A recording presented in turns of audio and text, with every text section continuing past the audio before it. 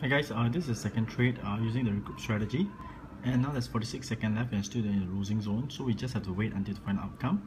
But have trust in the strategy that we're using because it really works.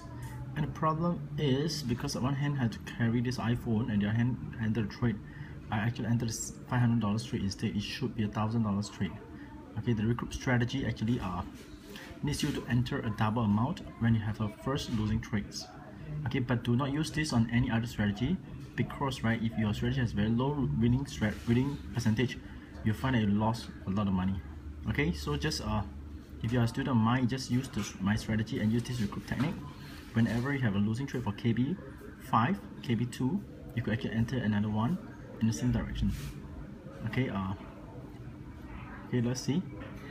Okay so uh, we actually return of uh, 875 okay theoretically it should be a thousand dollars trade then we'll make back what we lost in the previous trade plus the profits okay?